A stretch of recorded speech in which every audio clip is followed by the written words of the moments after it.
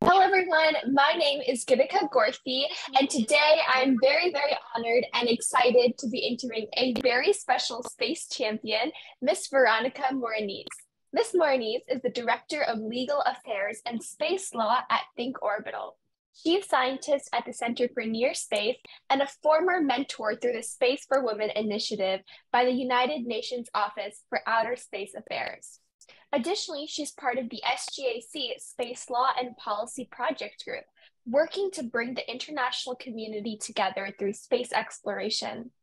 I remember reading about Miss Mar- Miss Moronese's work on LinkedIn, and I was incredibly inspired by the work that she's doing in space policy. And I'm so excited to dive into her journey and learn about what inspired her to get into the aerospace sector.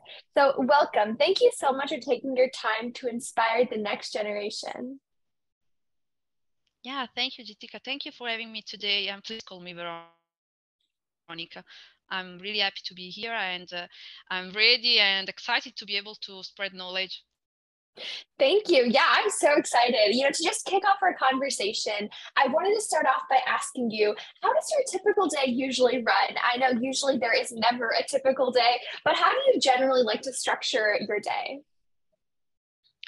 Well, my day usually starts uh, really early because uh, I have a two years old daughter. So uh, toddlers usually wake up really early and uh, go to bed really late at night. So it's uh, I, I, try to to find my time to go through emails and tasks that may occur during nighttime because uh, my startup is uh, located in the United States and I'm in Italy at the moment. So most of the tasks uh, arrive to me uh, during nighttime. So uh, I try to figure out how to go through through those and later on I I take care of my daughter, make her breakfast, uh, carry her to daytime. So it, it, mornings are really confused and but uh, once she's settled and ready to to go to or my parents or to daycare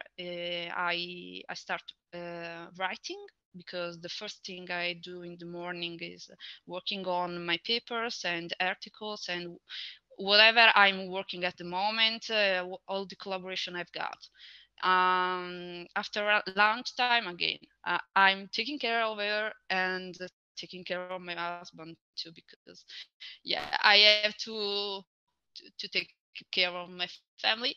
But afterwards uh, and I, I work on uh, on my duties as a responsible for legal affairs, which include uh, working on uh, NDAs, uh, memorandum of understandings, and ensuring that the legal life cycle of the startup is going well and yeah uh, it uh, i'm shared be- between uh, being a professional and a mother so uh, my days are always full but it's awesome and i'm really proud of what we are doing while i try to raise my my daughter in the best way possible Wow, that's so inspiring. I think it's so incredible to hear that you're able to enjoy and uh, even if it's busy be both a mother and also be a part of the startup and kind of pursue your dreams in space policy. I think that's so incredibly inspiring. A lot of times um, you know they think becoming a mother is a huge obstacle or something that kind of stops your career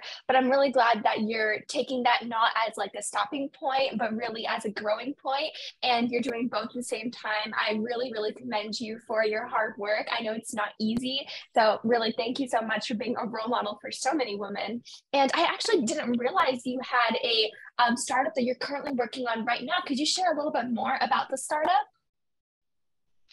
Yeah, it's a space manufact- manufacturing startup. It's uh, it's called Think Orbital, and we are bringing large, scalable, and in space uh, assembled uh, infrastructures in, in space. And we're working with an awesome team. we are spread worldwide, uh, while our headquarters are in Colorado, in the U.S and yeah uh, i i've been there from uh, moment one and i i'm trusting the process process and being in a startup is not easy of course we are we are working at our 2000%, but uh, we are going toward um, awesome. Absolutely. Yeah, yeah, I know. I've, I, I believe I met Think Orbital at a conference before and heard one of the speakers who was one from Think Orbital. So it was, it was really exciting when I did read a little bit about you and your work with Think Orbital. So thank you for sharing a little bit about that. And, um, and, you know, when I was reading your background, one of the things that inspired me and got me excited the most was your background in space policy a lot of times when people think of aerospace, the first things that come up are engineer, aeronautical engineering, you know, physics, more of like the very heavy STEM side. Um, but I don't think about policy, but policy is so critical in the space industry. So could you share a little bit more about what space law, space policy is, and why it's so critical for the future of the aerospace industry? Definitely. Yeah, uh, space law is seen as something that is futuristic, uh, something that we don't have to look after at the moment. But in, in fact, space law is an old uh, branch of, uh, of the, the, the, uh, the space uh, activities. space law was born during the um, the Cold War and the space race. So um, it's it's not something new uh, and also it's not something that uh, has been uh, acti actively uh, innovated during during those uh, those decades that that passed in the in the space the, the space era so it's something that should uh, follow what are the next steps that we are going through in the, in the exploration of space and the human expansion in space and space economy. Uh, it is absolutely key for the, the upcoming uh, steps that we are going towards in our future in space. Because without a good basis a good legal basis most of the activities that we are now planning to do in space let's think about uh, space mining or space tourism or even the uh, construction of uh, space settlements uh, on the moon or even on Mars, it is impossible without a good legal basis. Um, space itself is uh, an international space. So uh, when we will go and inhabit space, for example, we cannot use, uh, for example, US laws or Italian laws or Chinese laws we will have to create from scratch the, the laws that will regulate those settlements because again, uh, from the text of the treaties that are now regulating space, uh, there won't be space colonies. All the settlements that we will create in space must be international because there is the prohibition to create national colonies in space.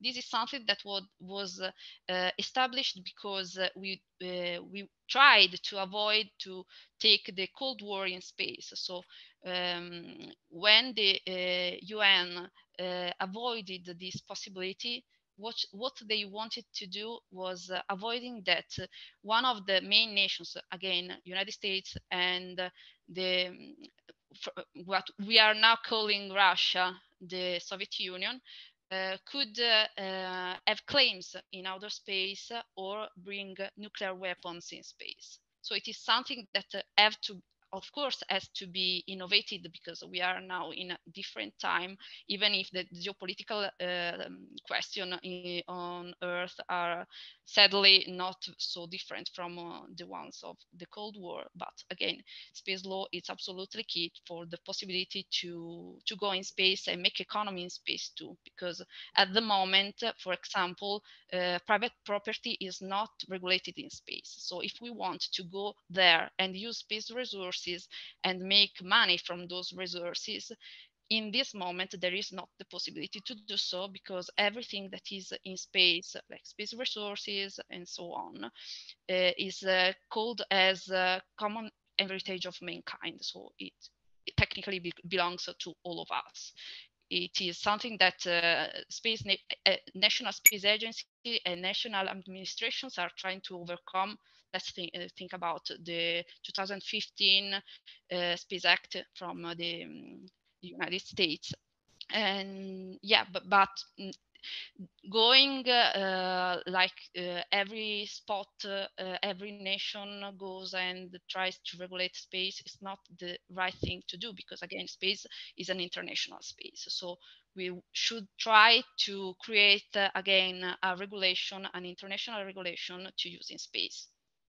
Definitely. I think you bring up some really important points. You know, we're really looking to advance our technology to go beyond, to explore further, to mine in space but we also need to keep in mind of like the regulatory procedures behind that. How are we going to do that safely efficiently and make sure that every country feels like they are a part of this space exploration and it's not just an ownership of one country? There are a lot of different aspects and dynamics we need to consider when looking into doing things as we further explore space and hopefully you know colonize one day. I think it'll it'll take a lot of regulatory policy related discussions as well from our side. So I think space policy is one of the most futuristic careers and um, it's necessary now and it'll be even more necessary in like the coming years as we're looking to have colonies have bases maybe potentially look into space mining so definitely very critical and for students who are interested in space policy, how do you kind of navigate that? Is there like a specific path you have to follow? Like, do you have to get a law degree? Um, are you supposed to have a political background or like a writing background? What What are your recommendations in kind of pursuing space policy? Well, my my personal background was not related to, to space law. When I graduated from uh, University, uh, space law was not really known in Italy and was not really uh, something that was taught in a lot of universities. So uh, my background is um, international law, uh, terrestrial international law, and, and human rights. So that was my my background at the university and I um, I approached the space law during uh, the my, my thesis because I always had a passion for space and I didn't want to create something that was not aligned with my my spirit. So I I tried to combine my two passions, the one for law and the one for space, and I've done a lot of research because uh, again the um, the context was uh, was not so so known as, as it is today uh, and the possibilities was were really little. So uh, it was a pre- pretty difficult again because for example, none of my professors at the time had a clue about space law. So when I was dis- discussing my thesis, uh, none of them uh, knew anything about me and, uh, what, what, I was saying. And it was a little bit strange because I was talking, teaching them something that they didn't know. And it was a strange moment. Uh, it is not necessarily this the, the, the right and the only uh, path to approach space law. Uh, I recommend having a law background, of course, because uh, again, it, it is important to understand terrestrial law be before entering into space law. And of course, international law is, is key. Uh, if you want to, to enter the space uh, uh, sector uh, from the company side, uh, I recommend international commerce law as, as um, something important, but, but also space policy. You know, you can approach space law from different angles and it is uh, not something uh, like astrophysics or engineering where you have um, a really clear uh, process of steps that you have to follow.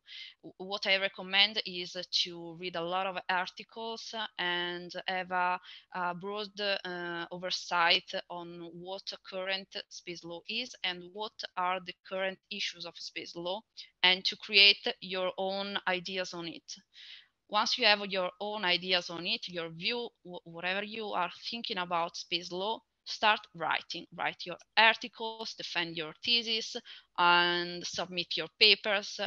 Not, not to become a, a well-known uh, name in the space law uh, field. Uh, it, it is not about fame. It is about to let other people know your ideas. And this is the, the best advice I can give them.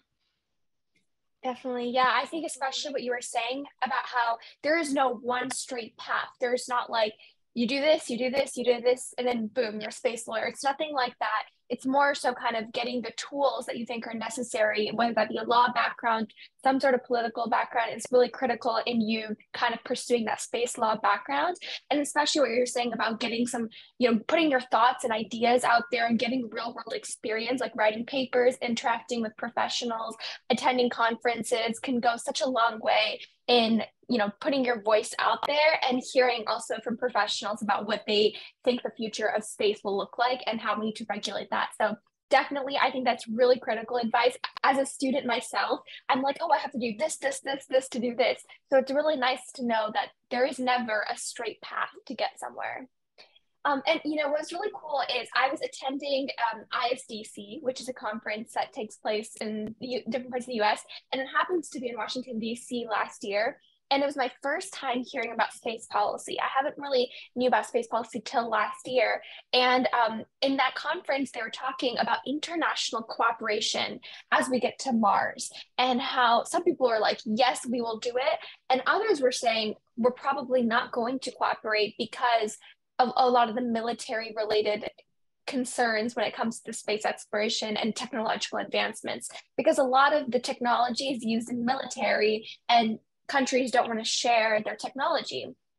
From your personal opinion just kind of off your guess do you think international cooperation will be will happen as we get to Mars, as we put humans on Mars? Or do you think that countries will try to get there first and it'll be more of a competition rather than a collaboration?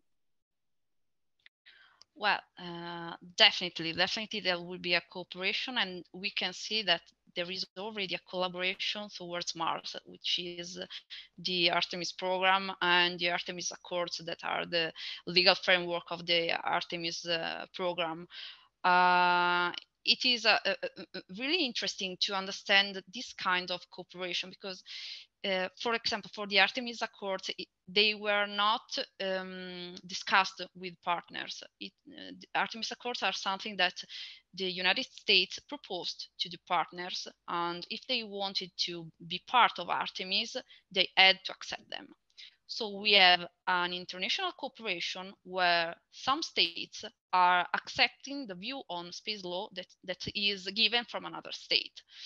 And this can lead to uh, some, some consequences. One of the consequences is that the future of space law regarding our presence in space on the moon and afterwards to Mars, which is the aim of the Artemis program, is defined by the view and the laws given by a single state and that are shared by other states.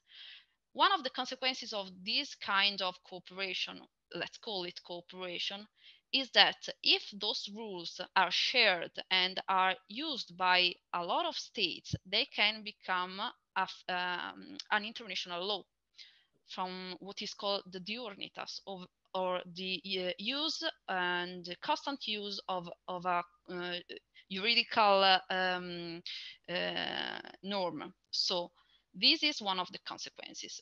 And if something becomes um, an international law, the other states that are not uh, technically part of the program must follow that rule. So we could have an international law that is given by a single state it is clear that some states, let's call it Russia and let's call it China, won't be happy about it. And I'm really scared and afraid that this can lead to um, a new uh, form of blocks like the ones in the Cold Era, the Cold War, which there were the West and East. This can happen in space. And uh, a, beautiful way to avoid it could be uh, enhancing international cooperation and again the, the rule uh, given by the United Nations. So the United Nations that are the right place to, to do space law should take up the lead and make those rules be before that single nations take the lead but again so it's something really difficult because uh, you know in the united nations is really difficult to make uh, different positions come together there are some rules that avoid the, the possibility to have a, a, statement or to adopt a rule so it's really really difficult Uh, a solution could be to create an agency, a space agency like the one of the IC. Um, but yeah, it, th those are possibilities to come to the, to your to your question. Yes, it will be not very likely that one nation can go to Mars alone even for the technological uh, effort and scientific effort, but again, even for the uh, legal point of view, because as I said, what will be established in Mars uh, regarding uh, the uh, common life of people on Mars, common work of people on Mars cannot be decided by the rules of a single nation except from the case if that, that rule becomes an international rule. So it, it's a bit difficult, but again, we can uh, hope for international cooperation on it. Yes, definitely. I agree with what you were mentioning, especially with the Artemis Accords. I think it's definitely a first step and it shows you how we're building towards that more cohesive kind of international cooperation as we explore Mars and explore other, you know, celestial bodies in space and further beyond. And we're not just saying, NASA, this is the European Space Agency, this is uh, the Canadian Space Agency. We're trying to come together as one to achieve a common goal, and I think that's that's definitely going to show to some capacity, to some extent, as we send humans to Mars as well. So definitely, I agree.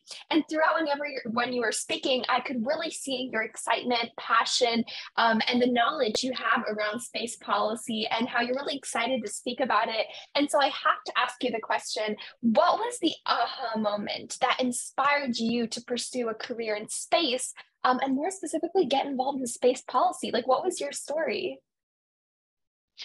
Well, uh, yeah, the, the moment when I realized that I could go, could go for space law and do something in this field was not the one I mentioned before because when I uh, I combined my two passions, space and the law, uh, for my graduation, my thesis at the university, I created something beautiful. But afterward, I didn't know what to do uh, I was a little bit scared, and so I, I tried to follow the common path, and uh, uh, I went to a regular law firm and started working on uh, uh, private law, private Italian law. But I, I felt that something was off. That that thing was not uh, my right path. So I tried to find different solutions. I tried to collaborate with as much entities and institutions possible, and I tried to again spread my my theories, my ideas, and uh, I, I tried to find the right people that could help me not enter really enter the, the sector but uh, express my ideas. That was my my first step. Once i had the chance to express my ideas uh, i was uh, really surprised and excited too because uh, i found that my ideas were were heard and were um, very welcome in the sector. So that was uh, maybe the, the moment when I realized, okay, maybe I can work in this sector. Uh, it was really difficult, of course, because I started doing research, so it, it was not something that really paid off. And i worked a lot and i wrote a lot without seeing any real money so it was pretty difficult but uh, i i didn't give up and uh, uh, things take to things and now i'm here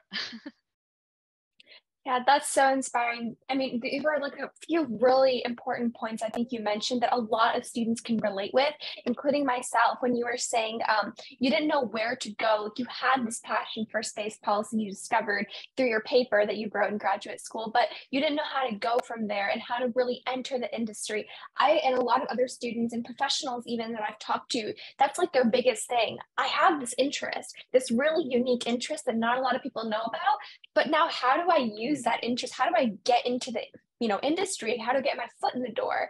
Um, and you have that conversation a lot. And i think the biggest thing you mentioned is you started like networking you formed a community people who could support you and allow you give you uh, the room and the platform to speak and to share your voice and to share your ideas. And i think that's like the biggest key point that i also learned in my own journey so far is it's so important that once you have like a passion you find that community and the people who support you to express yourself And exactly what you were saying, you stuck with it, even if at a point of time you weren't earning anything and it was a very hard, sustainable, I guess, career you could pursue, but you didn't give up on it and just kind of work in a regular law firm. I think you stuck with it and you went with it, which is where why you're making so much of an impact today and are going to continue doing so. So really, I I'm so inspired by how you persisted and you stayed with it, even if it was difficult. But also, more importantly, you shared how developing that community is so critical. And I think you answered my next question anyway, which was um, kind of what were your biggest obstacles, which I think was definitely navigating this industry. So I'll skip that question. And uh, my next question for you is from your experience so far in this industry, what excites you and what makes you nervous for the future of the space industry? Well, what excited me excites me uh, of this industry is that we are creating something. It's space is something uh, brand new. Uh, if we think about our history, it's something that uh, started like 50 years ago. So it's uh, something really new and something that gives a lot of opportunities.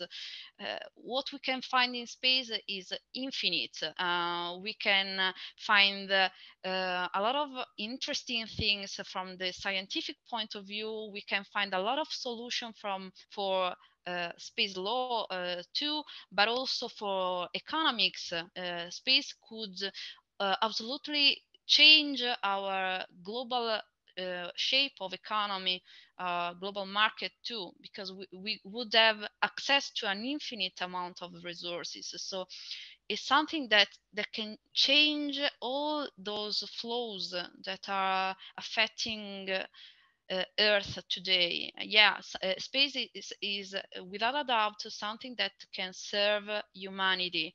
Um, when uh, space law says that uh, space resources cannot bring benefit to a single player, let's say a space agency or a private player, it is something that is not referred only uh, to the economic effect, uh, the economic return, uh, the money that you can uh, take from space resources. It's something that can be so uh, meaningful in the change of the pattern that is now affecting this planet that can give benefit to every single person, even uh, those who are living in non-spacefaring nations or minorities and so on.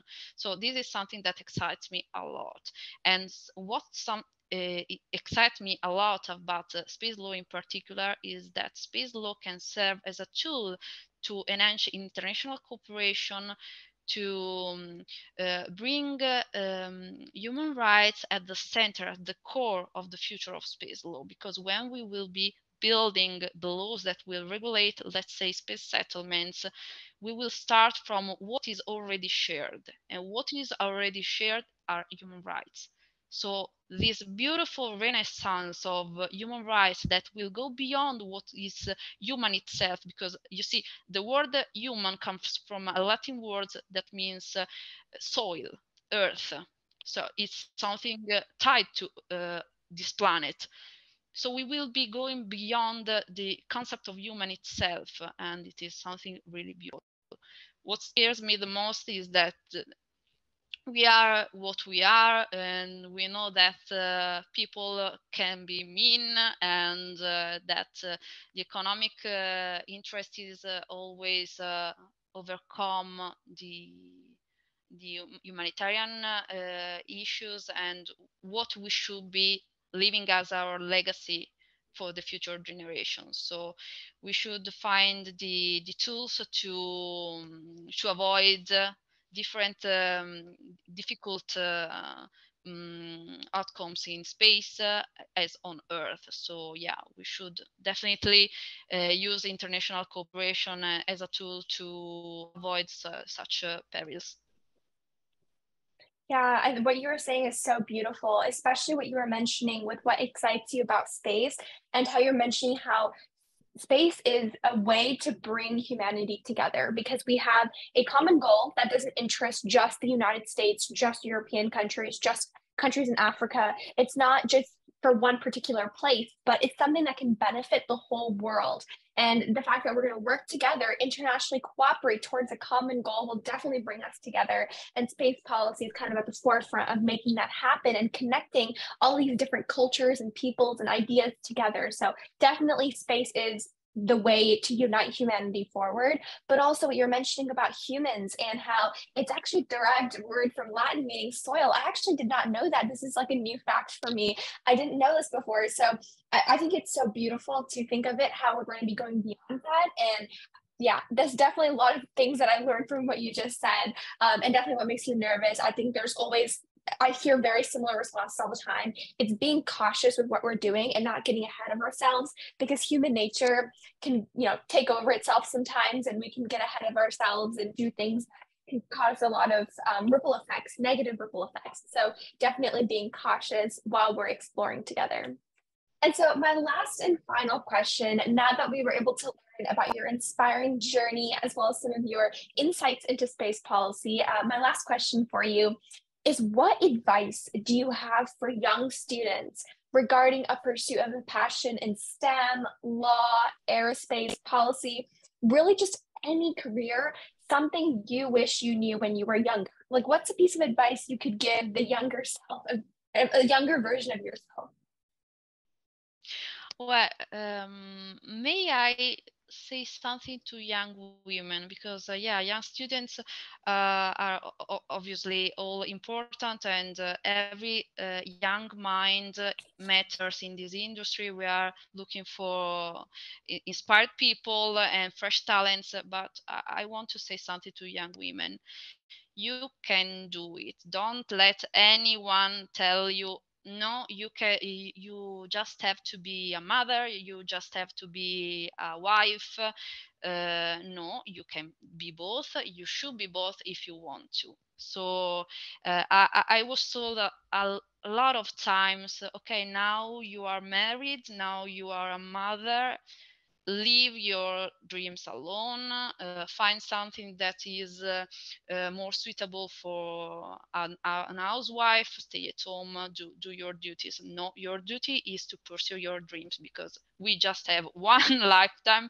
It is better to fulfill all your dreams. And if you don't have the actual possibility to work with your dream from day one it doesn't matter. Do what you can do but always uh, grow your dreams, even little by little.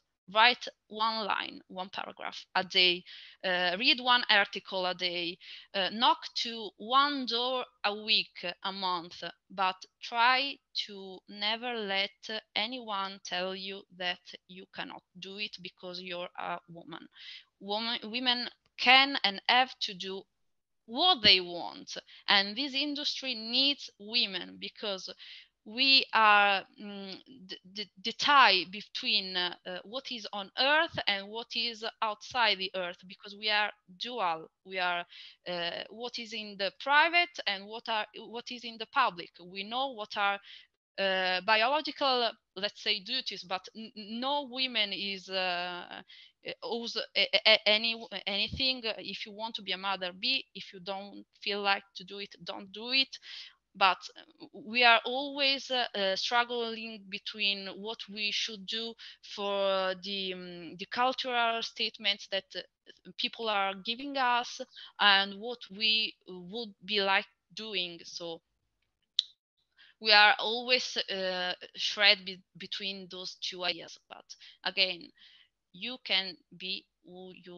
want to be. So this is the, the main advice and don't be afraid to pursue your dreams because again i i was scared and i didn't want to disappoint my parents and those around me. I tried to stay down leave my dreams alone but it was so wrong to me and i was hurting myself. So don't hurt yourself and do what makes you happy Wow, that's so powerful. I think that is one of the most powerful statements I've ever heard, and it definitely touches deep in my heart as well. I've met a lot of young girls in different parts of, you know, the world, talked with different students, especially young girls, and they would tell me how their parents would tell them, "Oh, you should, you know, go into a safe career choice or get a degree so that, you know, you can get married and you can become a great mother." And a lot of times you're being told as a woman that you have to live a certain way, or here are the career choices that are best for women. And it's surprising and it's shocking that it still exists in this day and age. And I'm very lucky to live in a place, or at least in grow up in a family where that never happened to me. But there are so many people where in this world you are told what you need to do and to live up to certain expectations.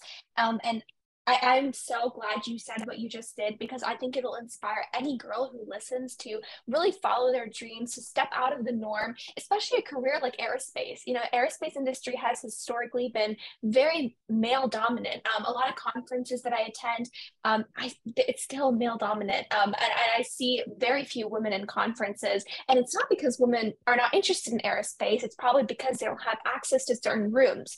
So really what you were saying about women achieving their dreams, following that, going through with it, and don't letting anyone tell you you can't do it because women are the most powerful people. You know, we put our minds to it, we can do it. So I think what you just said was incredibly inspiring and something I will definitely take to heart. And I know every single girl out there will definitely take to heart as well. So thank you so much for taking your time to do this interview. I was incredibly inspired every moment that you were speaking, and I learned so much about space policy and advocacy as well.